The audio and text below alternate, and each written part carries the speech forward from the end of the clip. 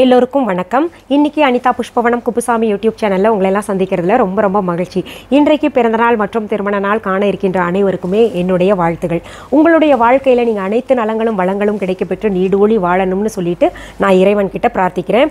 இந்த காணொளியை காண்கின்ற அனைவருக்குமே இந்த நாள் இனிய நாளாக இருக்கட்டும். இன்றைக்கி இந்த பதிவில் நம்ம பார்க்க போகிற செய்தி ரொம்ப முக்கியமான செய்தி.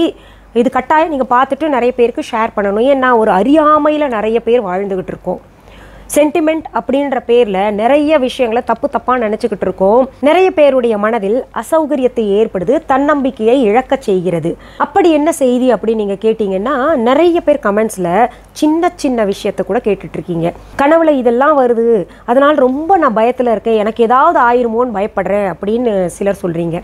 அப்புறம் வவ்வால் வீட்டுக்குள்ள வந்ததுன்னா இல்லை அதை நம்மளை தொட்டுருச்சுன்னா அது ஏதாவது பண்ணிருமோ? எனக்கு ஏதாவது ஆயிருமா? வவ்வால் வர்றது நல்லதில்லைன்னு சொல்கிறாங்களே அப்படின்னு ரொம்ப பதறீங்க. ஒரு பெண்மணினா போட்டிருக்காங்கன்னா கர்ப்பமாக இருக்கேன் என் வீட்டுக்காரர் வவ்வால் தொட்டுருச்சு எனக்கு ஏதாவது ஆயிருமா என் குழந்தைக்கு ஏதாவது ஆயிருமா? அப்படின்னு கேட்டிருக்கீங்க. இன்னும் சிலர் கேட்கக்கூடிய கேள்வி இந்த பள்ளி கத்துச்சுன்னா ஏதாவது அபசகுனமா இல்லை பள்ளி வந்து எங்கள் வீட்டில் செவுத்துல போய்கிட்டு இருக்கு பூஜை ரூமில் இருக்கு நிறைய பள்ளி அதனால ஏதாவது கெடுதலா? இல்லை பள்ளி தலை மேலே விழுந்ததுன்னா கெடுதலா? அப்படின்னு கேட்குறீங்க. இன்னும் ஒரு சிலர் இந்த நாய் ஓலமிட்டா நல்லதா கெட்டதா? அப்படின்னு கேட்குறீங்க.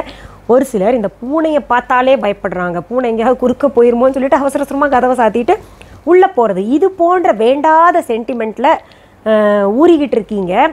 இது வந்து சொன்னாங்க நம்ம பெரியவங்கெல்லாம். இப்படி இருந்தால் அசௌகரியங்கள் ஏற்படும். இப்படி இருந்தால் அபசகுனம் அப்படின்னு சொல்லியிருக்காங்க. ஆனால் அதை வந்து சௌகரியமாக ஆக்கிறது நம்ம கையில் இருக்குன்றதையும் அவங்க சொல்லியிருக்காங்க. பெரியவங்க பூனை குறுக்கால போனால் வந்து ஆகாதுன்னு சொல்லியிருக்காங்கல்ல. அது சொன்னாங்கன்னா எதுக்காக சொன்னாங்க? எந்த பக்கத்தில் போனால் சரியில்லைன்னு சொன்னாங்க? அப்படி சொன்னது உண்மையாக இருக்குமா? இல்லை அதன் பின்னணியில் வேற ஏதாவது சொல்லியிருப்பாங்களா? அப்படின்றத நான் ஆராயறது கிடையாது. ஏன்னா அந்த காலத்தில் எதுவுமே சித்தர்களாகட்டும் மகான்களாகட்டும் பெரிய பெரியவங்கெல்லாம் பழமொழிகளாக தான் சொல்லியிருக்காங்க. திருக்குறள் எப்படி செய்யுள்களாக சொல்லியிருக்காங்க. திருக்குறள் எப்படி இரண்டு வரியில் இருக்கோ அது போல சுருக்கமாக சொல்லியிருப்பாங்க. உதாரணத்துக்கு ஒன்று சொல்கிறேன் அஞ்சில் விளையாதது ஐம்பதில் விளையாது அப்படின்னு சொல்லுவாங்க. அதற்கு பெரும்பாலும் வெளிப்படையான அர்த்தம் என்னன்னா அஞ்சு அஞ்சு வயசில் பிள்ளைய போட்டு அடித்து வளர்க்கலைன்னா அது ஐம்பது வயசில் கூட வளைஞ்சு கொடுக்காது. அதனால் அஞ்சு வயசுலேருந்தே நம்ம அடித்து வளர்க்கணும் அப்படின்றது வெளிப்படையாக இருக்கக்கூடிய அர்த்தம். அப்படி அர்த்தம் தவறாக நம்ம கொண்டு விட்டோம். ஆனா உண்மையான அர்த்தம் என்னன்னா ஐந்து என்பது நம்முடைய ஐம்புலன்கள் கண்ணு காது வாய் மூக்கு அப்புறம் சிந்திக்கக்கூடிய திறன் இதெல்லாம் இருக்கு இல்லையா? இந்த ஐம்புலன்களையும் ஒரு மனிதன் சரியான கட்டுக்கோப்புல வச்சுக்கலைன்னா ஐம்பது வயதானா அது வந்து தன் மனம் போன போக்கில் இருக்கும் வளையாமல் இருக்கும். அதுக்கு அர்த்தம் என்னன்னா கண்ணு பார்க்கக்கூடாதையெல்லாம் பார்த்து மனம் நல்லவற்றை சிந்திக்காமல் கெட்டவையே சிந்தித்து கொண்டிருப்பது கண்கள் கெட்டதையே பார்த்து கொண்டிருப்பது மூக்கு கெட்ட சுவாசத்தையே சுவாசித்து கொண்டிருப்பது. அதாவது கெட்ட வாசனை சிலருக்கெல்லாம் பிடிக்கும். அதையே சுவாசிச்சுக்கிட்டு இருப்பாங்க. சிகரெட் எல்லாம் இருக்குல்ல அது. அப்புறம் பெட்ரோல் எல்லாம் பார்த்தீங்கன்னா சுவாசிப்பாங்க நிறைய பேர். அது ரொம்ப பிடிக்கும் அவங்களுக்கெல்லாம். அப்புறம் வாய் சாப்பிடக்கூடாததெல்லாம் சாப்பிட்றது பேசக்கூடாததையெல்லாம் கேஸ் பேசுறது. காது கேட்கக்கூடாதவைகளெல்லாம் விரும்பி கேட்பாங்க ஒரு சிலர். இது கேட்கக்கூடாதுன்னு பெரியவங்க சொல்கிறாங்களோ அதெல்லாம் விட்டுக்கிட்டு அதைத்தான் கேட்பாங்க. இப்படி தன் மனம் போன போக்கில் ஐம்புலன்கள் இருந்ததுன்னா அந்த ஐம்பது வயசில் பார்த்தீங்கன்னா ஆட்டோமேட்டிக்காக நமக்கு வேண்டாத வியாதிகள் வேண்டாத எண்ணங்கள் தவறான வாழ்க்கை பாதை இதெல்லாம் அமையும். அதுக்கு தான் பார்த்திங்கன்னா சொன்னாங்க அஞ்சில் விளையாதது ஐம்பதில் விளையாதுன்னு. இதுக்கு அழகான கதைகள் எல்லாம் என் கணவர் சொன்னார். அதை வச்சு தான் நான் இப்போ பேசிக்கிட்டு இருக்கேன். இது போன்ற கதைகள் வேணும்னா நம்ம விஹா டாட் ஆன்லைனில் பழமொழி கதைகள். என் கணவர் டாக்டர் புஷ்பவன குப்புசாமி அவர் பழமொழி கதைகள் அப்படின்ற பேரில் புத்தகங்கள் வெளியிட்டிருக்காரு. ஒன்பது வால்யூம் இருக்குது அதில் இப்போ ஒன்று இருக்குது நீங்கள் கொஞ்சம் தான் இருக்குது அது கூட. அது இனிமே தான் இன்னும் ஒம்பது வால்யூம் கொடுப்போம். அதற்கான முயற்சிகள் செஞ்சுட்ருக்கோம் இந்த கதையெல்லாம் அதில் இருக்குது நான் என்னென்ன கதையெல்லாம் சொல்கிறேனோ அதையெல்லாம் அவர் அழகான உரை நடையில் எழுதியிருக்காரு. அந்த புத்தகங்கள் வாங்கிக்கோங்க. ஏன்னா என்கிட்ட நிறைய பேர் கேட்டுக்கிட்டு இருக்கீங்க. இந்த புத்தகங்கள் எங்கே கிடைக்கும்னு. இதில் பார்த்தீங்கன்னா உங்களுக்கு புரிகிற மாதிரி நிறைய புத்தகங்கள் கிடையாது. நாங்கள் புரிகிற மாதிரி உ- உரைநடையை அமைத்து எழுதியிருக்கார் என் கணவர். சரி இதுக்கு தான் பார்த்தீங்கன்னா ஐந்தில் விளையாதது ஐம்பதில் விளையாது. அந்த அஞ்சு வயசுலேருந்து நம்ம வந்து முறையான வாழ்க்கையை வாழணும். நம்முடைய ஐம்புலன்களையும் கண்ட்ரோல் செஞ்சுட்டு வாழ்ந்தோன்னா ஐம்பது வயசில் நம்ம நல்லா இருப்போம். இல்லாட்டி அஞ்சு வயசில் வளையாதது வளைஞ்சு கொடுக்காதது. நம்ம ஐம்புலன்கள் எல்லாம் வளைஞ்சு கொடுக்கலன்னா ஐம்பது வயசில் நிறைய பிரச்சனைகளை நம்ம சந்திப்போம். அப்போ கூட வளைஞ்சு கொடுக்காது. ஏன்னா இப்போது நம்ம ஒரே விஷயத்த வே வாய்க்கு ருசியாக நம்ம உடம்புக்கு வேண்டாததெல்லாம் சாப்பிட்டுக்கிட்டே வந்தோம்னு வைங்களேன் ஐம்பது வயசுலையும் அதுதான் நம்ம தேடுவோம். அதே போல் கண்கள் வந்து ஒரு சிலதையே பார்த்து கெட்டதைகளெல்லாம் பார்த்து பார்த்து பழகிட்டோம்னா ஐம்பது வயசுலையும் பார்த்தீங்கன்னா அது அந்த தொடர்ச்சி அப்படியே இருந்துகிட்டு இருக்கும். அந்த ஐம்பது வயசில் கூட வளைஞ்சு கொடுக்கணும். வேண்டாம் போ அப்படின்னு விடணும்னு நினச்சோன்னா கூட அது பழக்க தோஷம் அதுலேயே தான் போய் விழுவோம் நம்ம. அதற்காக சொல்லப்பட்டது தான் ஐந்தில் விளையாதது ஐம்பதில் விளையாது அப்படின்னு. அது புரிஞ்சுக்காமல் நம்ம என்ன பண்ணுறோம் அஞ்சு வயசில் விளையாது. விளையாத குழந்தைங்கள்லாம் ஐம்பதுலேயும் விளையாதுன்னு போட்டு மடார் மடார்னு போட்டு அடிக்கிறோம். அதெல்லாம் கிடையாது. அன்பால் தான் குழந்தைங்களெல்லாம் எல்லாம் அடக்க முடியும். சரி அதெல்லாம் தனி சப்ஜெக்ட் நான் வந்து ஒரு சப்ஜெக்டில் நுழைஞ்சேன்னா வேறு வேறு பகுதிக்கு போயிடுறேன். அவ்வளவு வந்து பேச தோணுது எனக்கு. அவ்வளவு விஷயங்கள் நான் படிச்சிருக்கிறனால சும்மா இருக்க மாட்டேங்குது வாய். இந்த பழமொழியை நம்ம எப்படி தவறாக உணர்ந்திருக்கிறோமோ சில செய்யுள்களை நம்ம எப்படி தவறாக புரிஞ்சுக்கிறோமோ அது போல தான் பார்த்தீங்கன்னா நம்ம பெரியவங்க சொல்லி வச்சதை. இது என்ன இந்த வவ்வால் வீட்டுக்குள்ளே வந்தால் ஆகாது அப்படின்னு சொல்கிறாங்க அப்புறம் பள்ளி கத்துனா பள்ளி பள்ளி மேலே உளுந்து ஆகாதுன்னு வெளிப்படையாக சிலதெல்லாம் சொல்லியிருக்காங்க. ஆனால் அது பாசிட்டிவாக எப்படி பண்ணணுன்றதை கூட நம்ம பெரியவங்க சொல்லி வச்சுருக்காங்க. இப்போ வவ்வால் விழுந்தா என்ன பண்ணணும்? இல்லை பள்ளி விழுதுன்னா என்ன பண்ணணும்? பூனை குறுக்கால போனால் என்ன பண்ணணும்?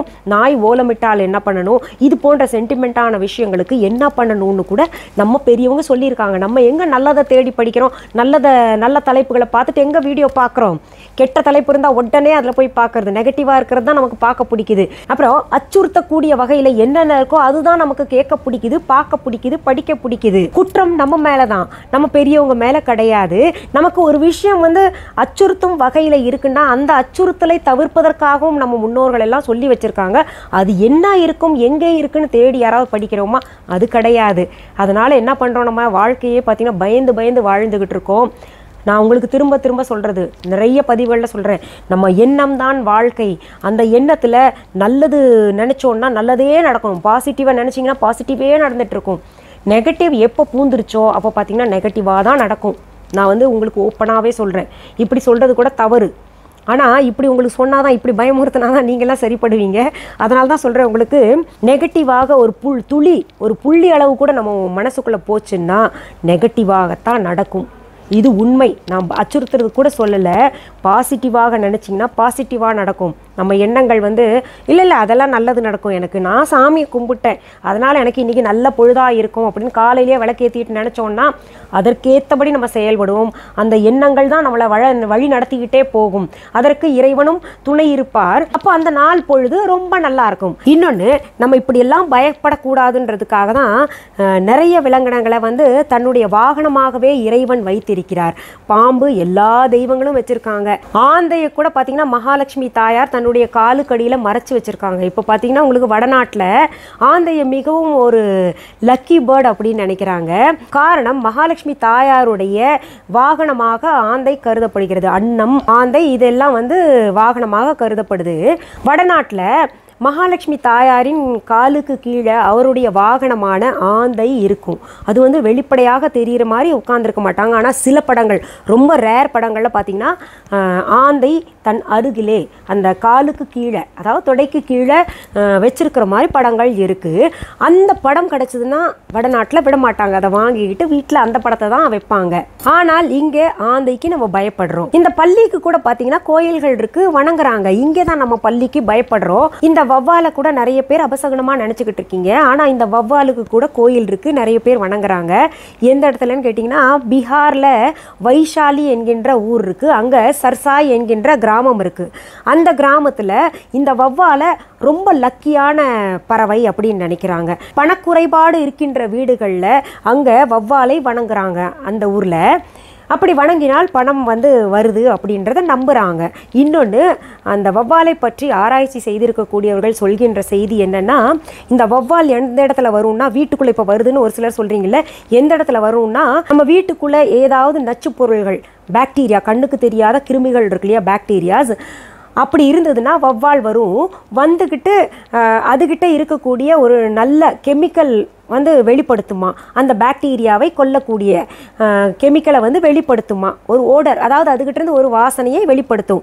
அப்போது அந்த பாக்டீரியா எல்லாம் அழிந்து அழிந்து போயிடும் அப்படின்றது ஆராய்ச்சியாளர்கள் சொல்லியிருக்காங்க. அப்போது இந்த வவ்வால் வீட்டுக்குள்ளே வருதுன்னு நீங்கள் பயப்படவே வேண்டாம். இன்னொன்று ரிஷிகள் முனிவர்கள் சித்தர்கள் எல்லாம் பார்த்தீங்கன்னா வவ்வால் ஸ்வரூபத்தில் இருப்பாங்கன்னு சொல்லுவாங்க. பள்ளிக்கு கூட அப்படி தான் சொல்லுவாங்க. பள்ளியை வந்து நம்ம பித்ருக்கள் வந்து அந்த பள்ளியின் உருவத்தை தேர்ந்தெடுப்பாங்க. நம்ம வீட்டில் இருப்பாங்க. பூஜை அறையில் மறைஞ்சிருக்கும் அப்படின்லாம் சொல்லுவாங்க. கவுளி எல்லாம் அப்படி தான் இருக்கும். எங்கள் வீட்டில் பார்த்தீங்கன்னா கவுளி நிறையா இருக்குது ஆனால் அது எங்கே இருக்குன்னு இது வரைக்கும் என் கண்ணுக்கு தெரியல. ஆரம்ப காலகட்டத்தில் பார்த்தா எங்கள் வீட்டில் வந்து கருப்பு கவுளி ஒன்று இவ்வளோ பெருசு இருந்தது. வெள்ளை கவுளி.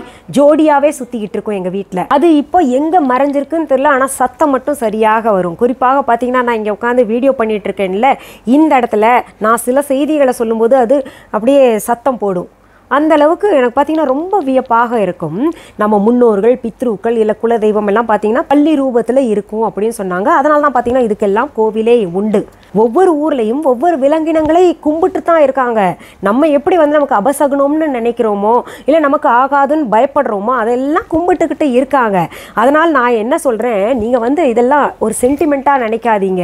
அப்படி இருந்தது உங்களுக்கு ஏதாவது அச்சுறுத்தலாக இருந்தால் ஒரு ஸ்நானம் அதாவது தலைக்கு குளிச்சுக்கோங்க தண்ணி ஊற்றி குளிச்சுக்கிட்டிங்கன்னா அந்த அச்சுறுத்தல் எல்லாம் போயிடும் எந்த ஒரு தோஷமாக இருந்தாலும் நம்மளை வவ்வால் தொட்டுருச்சு எனக்கு பயமாக இருக்குது ஏதாவது தோஷமாக மாறுமா இல்லை காக்கா தலையை தொட்டுருச்சு அதனால் தோஷமாக மாறுமா? பள்ளி தொற்றுச்சு தோஷமாக மாறுமா? இல்லை பூனை குறுக்கால போயிடுச்சு தோஷமாக மாறுமா? அப்படின்னு எல்லாம் நீங்கள் நினச்சிங்கன்னா ஒரே ஒரு சின்ன விஷயம்தான். நம்ம வந்து இந்த தலைக்கு தண்ணி ஊற்றிக்கணும் அதுதான் நம்ம முன்னோர்கள் சொல்லி வச்சுருக்காங்க.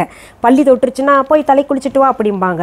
காக்கா தலையை தொட்டுருச்சா இல்லை நம்ம உடம்பு எங்கேயாவது தொட்டுருச்சுன்னா போய் தலைக்கு குளிச்சுட்டு வா. நம்ம வந்து இந்த ஆராய்ச்சியில் இறங்க வேண்டாம். எந்த இடத்துல தொட்டால் நமக்கு நல்லது எந்த இடத்துல தொட்டால் நல்லது இல்லை அப்படின்றலாம் நினைக்காதீங்க நீங்கள் நீங்கள் வந்து எங்கே தொட்டாலும் அது குளிச்சுட்டு வந்துடலாம் தண்ணி அவ்வளவு பவித்திரமானது உயர்வானது. கங்கையில் இருக்கக்கூடிய தண்ணி தான் புனிதமானது. மற்ற தண்ணி புனிதமானது அல்ல அப்படின்னு நினைக்க வேண்டாம். எல்லா தண்ணியுமே புனிதமானது. அதனால தான் எதை எடுத்தாலும் நம்ம வந்து தண்ணியில் அலசிட்டு பின்னாடி வைக்கணும். இப்போ சுவாமி சிலைகளே வாங்கியிருந்தால் தண்ணியில் அலசிட்டு அபிஷேகம் பண்ணிட்டு வையுங்கன்னு சொல்கிறாங்க எந்த பொருளை வாங்கினாலும் தண்ணீரை சுத்தமாக அலசிக்கோங்க அப்படின்னு. ஏன்னா ஒரு சுத்தப்படுத்தக்கூடியது தண்ணி. நம்முடைய ஆன்மாவையும் வெளிப்புறத்தையும் சுத்தப்படுத்தக்கூடிய பவித்திரமான ஒரு பொருள் அப்படின்னு பார்க்கும்பொழுது இந்த தண்ணி. அதற்கு உதாரணம் சொல்கிறேன் ஒரு ஆற்றை கடந்து விட்டால் மோப்ப நாய்க்கு கூட அந்த ஆற்றை கடந்தவனை வந்து கண்டுபிடிச்சு தர முடியாது. அது ஒன்று இன்னொன்று முனிவர்கள் ரிஷிகள் மகான்கள் குரு குருமார்கள் எல்லாம் பார்த்தீங்கன்னா அடிக்கடி குளிப்பாங்க. ஆன்மீகத்தில் தொடர்புள்ள உண்மையான ஆன்மீகத்தில் தொடர்புள்ளவர்கள் எல்லாம் அடிக்கடி குளிப்பாங்க. ஒரு நாளைக்கு ரெண்டு மூணு தடவையாக கு குளிப்பாங்க. ஏன்னா பல பேரை அவங்க தொடுறாங்க அப்புறம் வந்து நிறைய பேருக்கு ஆசிகள் அவங்க வந்து ஆசிகள் வாங்குவாங்க. இப்படி ஸ்பரிசம் இப்படி ஒருத்தரை ஒருத்தர் தொடர்றதுனாலே பார்த்தீங்கன்னா வாசனை என்பது ஒட்டிக்கொள்ளும் உடம்போடு. அதனால தான் பார்த்தீங்கன்னா இந்த கர்மா போன ஜென்மத்து வாசனை எல்லாம் இருக்குது அதுவும் நிறையா இருக்குங்க சப்ஜெக்ட் இருக்குது எதை சொல்கிறது எதை விடுறதுன்னே எனக்கு தெரியல. ரொம்ப நீளமாக பேசுகிறேன்னு நிறைய பேர் நினைக்கிறீங்க. சரி நான் இப்போ சொல்கிற செய்தியை சொல்லிடுறேன் முதோ. நம்ம ஒருத்தர் ஒருத்தர் தொட்டுக்கிறோன்னு வைங்களேன். இப்போ யாராவது ஹே ஷேக் ஹேண்ட் கொடுக்குறீங்க. அப்போ பார்த்தீங்கன்னா அவங்களுடைய வாசனை நம்ம உடம்போட ஒட்டிக்கும். இந்த மாதிரி எந்த உறவாக இருந்தாலும் நம்ம உடம்போட அந்த வாசனை ஒட்டிக்கும்.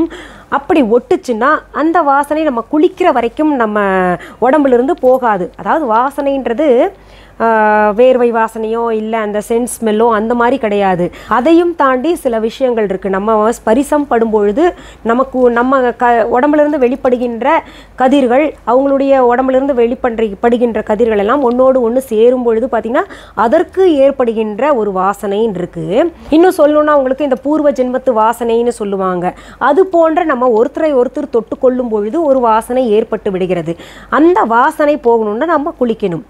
இல்லை அந்த வாசனை போகக்கூடாது அப்படின்னு நினச்சிங்கன்னா நம்ம வந்து குளிக்காமல் இருக்கலாம். அதனால தான் வெளியில் போயிட்டு வந்தோடனே நிறைய பேர் குளிக்கணும்னு சொல்கிறாங்க எத்தனையோ பேரை பார்க்குறோம் எத்தனையோ பேர் தொடுறோம்.